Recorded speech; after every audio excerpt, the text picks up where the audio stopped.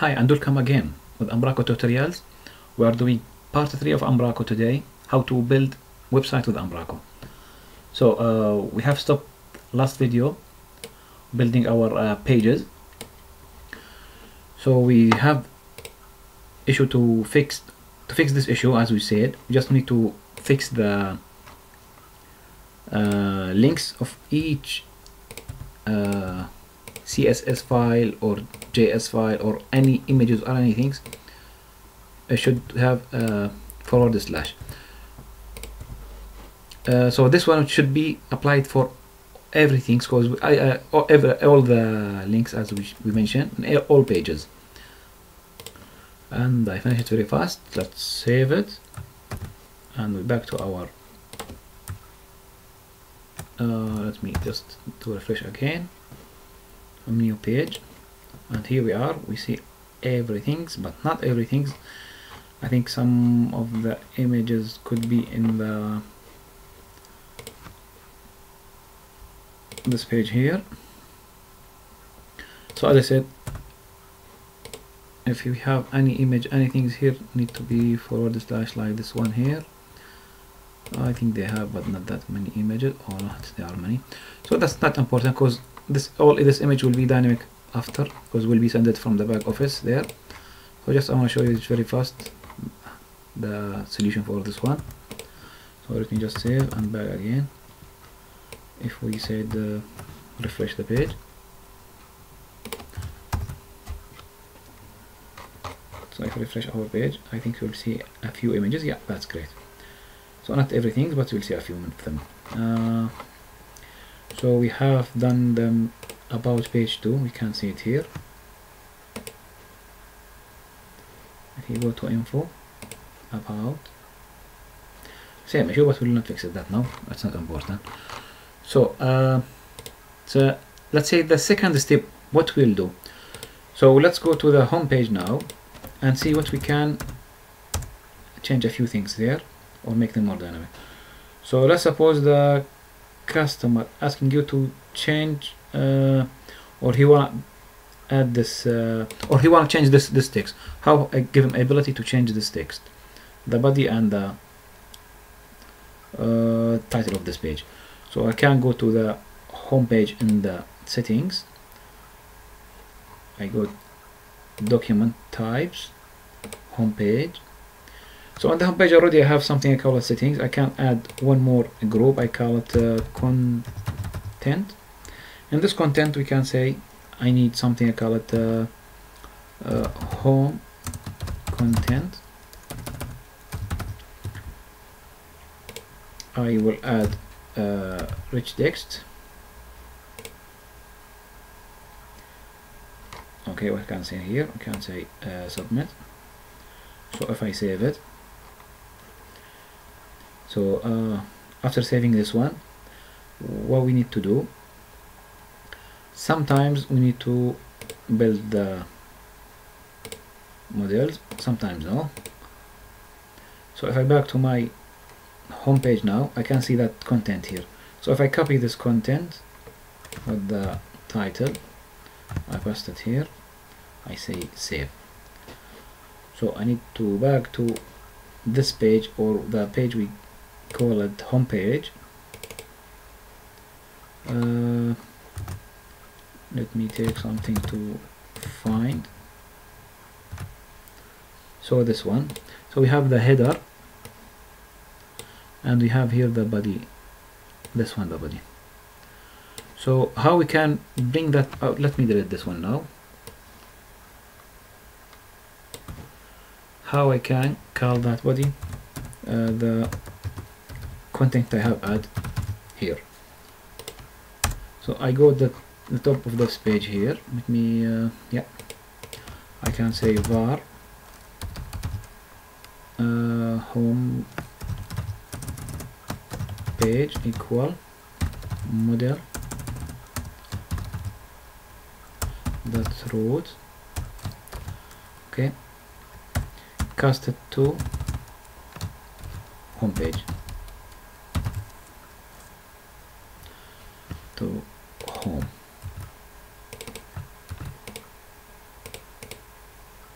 I cannot cast it to home oh let me add content. Uh, models dot home so after that what I can say what I need from the home page I need the content uh, equal home page dot what we call that one uh, I think we call home content. Let me just make sure what I call it there. Yeah, home content. Uh, if I copy this one now just there where I did that one here. So if we before I added it if we back to the home page I should see nothing here about this one should be this one we have removed. Oh need to re debug rebuild the solution.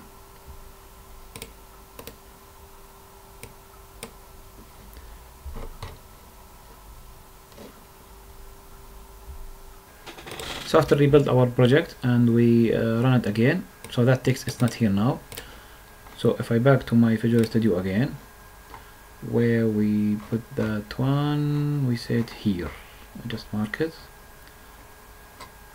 Yeah here. So what I can say here add uh, we call it content this one. So let's save again. If we back to the browser we say uh, refresh. It should show us that text. Uh, where is it yeah that's one. See easy lazy and simple. Oh, no sorry. Uh, this one here.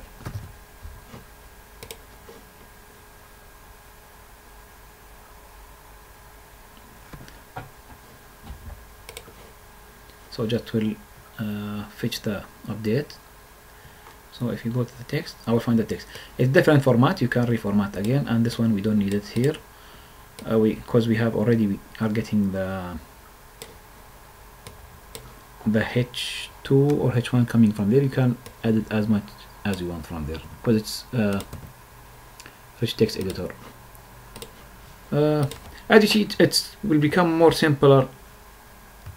Everyday work more on it I think you maybe you think it's a bit hard, but no. When we change more and more, and you'll see when add more st dynamic stuff, you will find Umbraco. It's very simple and very easy to learn and to uh, build websites. Uh, so after we, I just I show you this one as example. See what we have done. It's just simple things.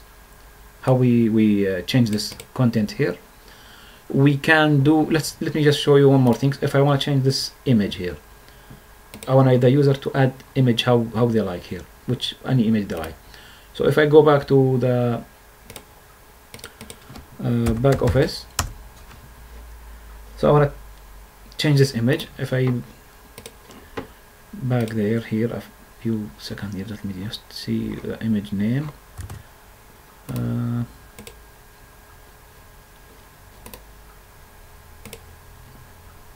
so this image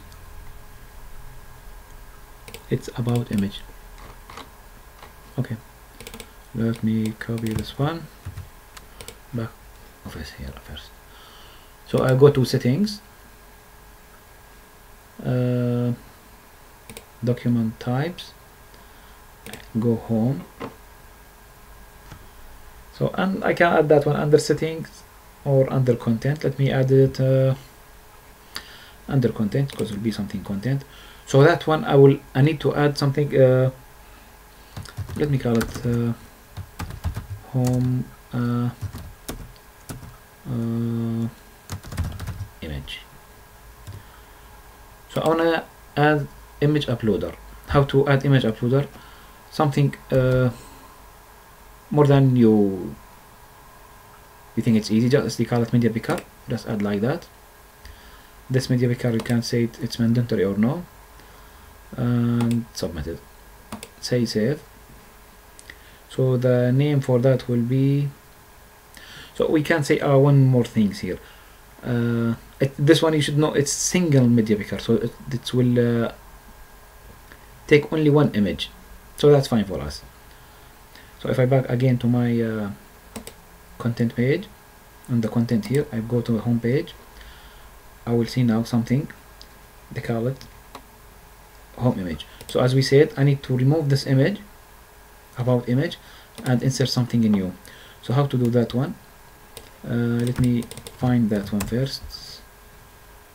Uh, it should be this one. If I remove it from here that's for test. Or I don't need it now. Uh, let me just say uh, here. Don't need to forget it. Okay if I back to my code my uh, front here refresh it. So it should not display this image here.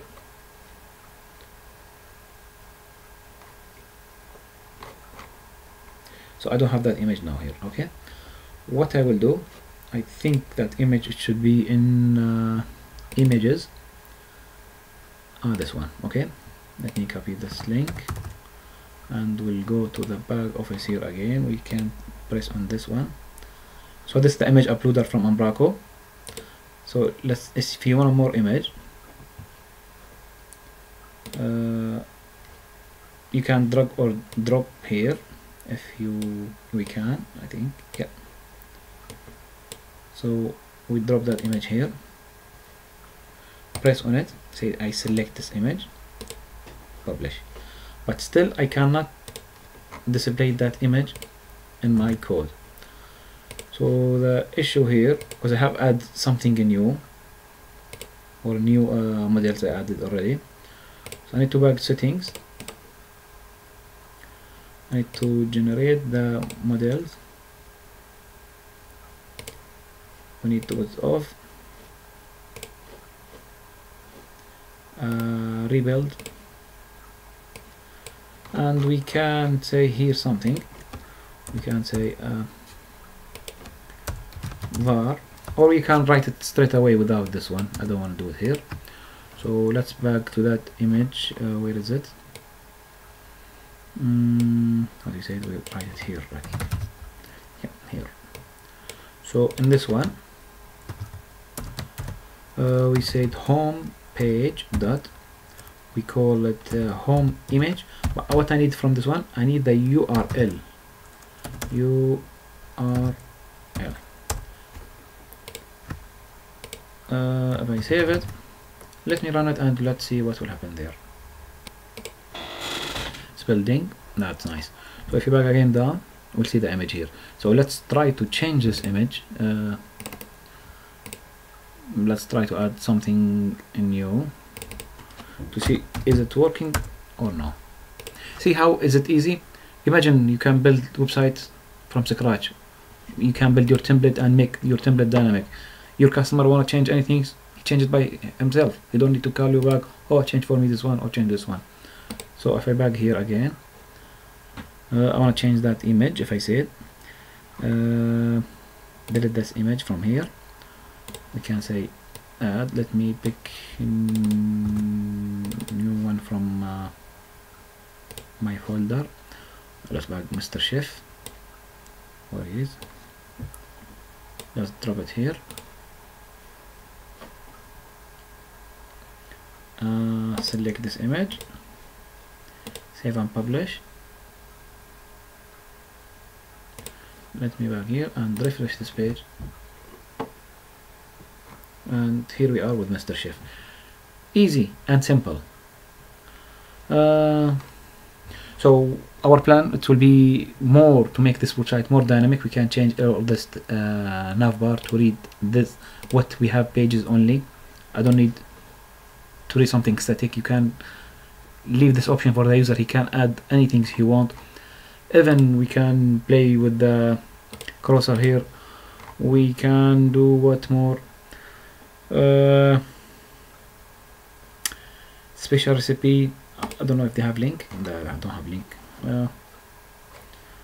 and yeah maybe next time we can do the menu or uh, I think we have something nice I saw in the other page we said which page. Uh, why you have nothing here? Oh because we remove everything from that page. So even this page we can do too. We can do uh, we can I can show you how to uh, send mail through Umbraco. Um, but this page I yeah if we can do this page uh, let me back to my copy. Uh, menu page. If we go check the menu page.